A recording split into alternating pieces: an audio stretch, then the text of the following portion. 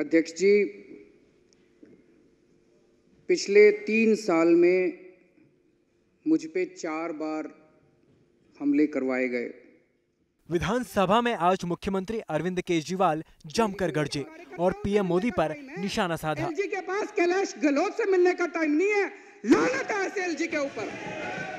केजरीवाल ने कहा कि तीन साल में उन पर चार बार हमले हुए हैं।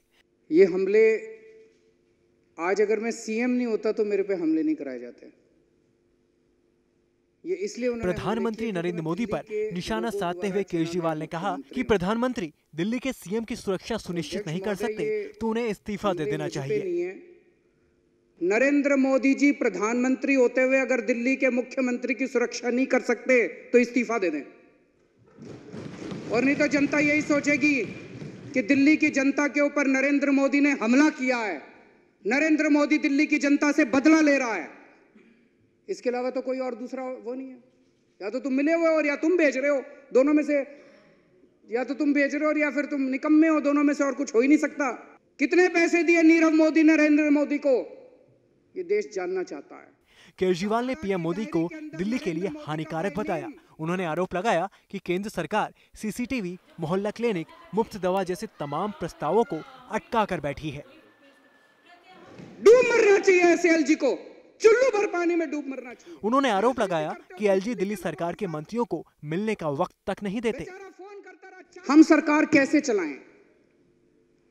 जब दिल्ली के अंदर स्ट्राइक होती है डीटीसी की स्ट्राइक होती है एस्मा लगाया जाता है।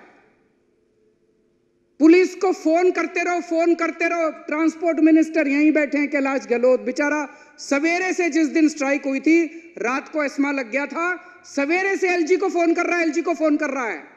एलजी के पास कपिल मिश्रा से मिलने का टाइम है। एलजी के पास दो टके के बीजेपी के कार्यकर्ताओं से मिलने का टाइम है। एलजी के पास कैलाश गहलोत से मिलने का टाइम नहीं है। लानत है ऐसे एलजी के ऊपर।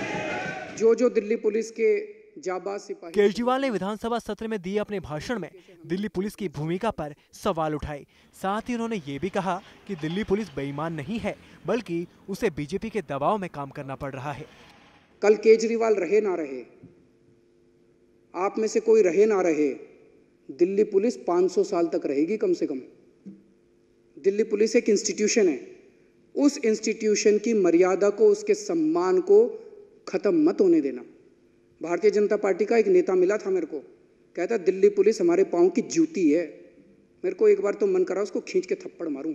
काला धन कहाँ है जब जनता पूछने लगेगी? तो इनके पास एक मुख्यमंत्री ने बताया कि जिन 18 लोगों को एक करोड़ रुपए के सम्मान के लिए चुना गया है उनमें 11 दिल्ली पुलिस के जवान हैं जिन्होंने दिल्ली की सुरक्षा करते हुए अपनी जान गंवाई। तो ये दूसरा केजरीवाल ने मांग की है कि दिल्ली चलाने के लिए दिल्ली सरकार को शक्तियाँ दी जानी चाहिए एक करोड़ रुपए की राशि हमारे दिल्ली तक के वीडियोस को देखने के लिए चैनल सब्सक्राइब करें और बेल आइकन का बटन दबाएँ।